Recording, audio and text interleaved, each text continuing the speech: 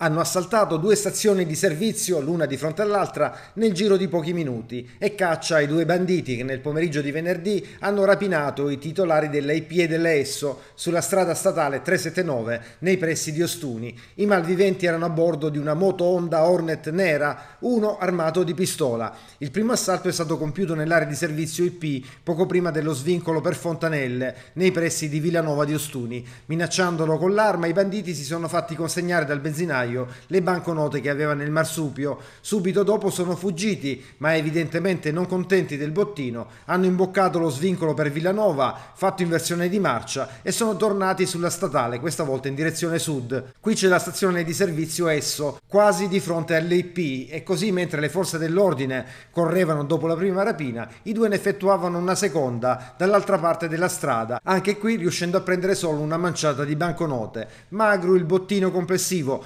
circa 500 euro. Presso l'area di servizio IP si sono recati i carabinieri della stazione di Ostuni, mentre i poliziotti del commissariato della Città Bianca si sono occupati dell'assalto alla Esso. Il 20 maggio scorso due rapine erano state effettuate in sequenza sulla stessa statale, poco più a sud, prima al distributore di carburanti Tamoil, situato nei pressi di Specchiolla, e poi presso l'area di servizio Mayen, a pochi metri dallo svincolo per l'aeroporto di Brindisi, sempre sulla superstrada Brindisi-Bari. In quel caso però i banditi agirono a bordo di un'auto.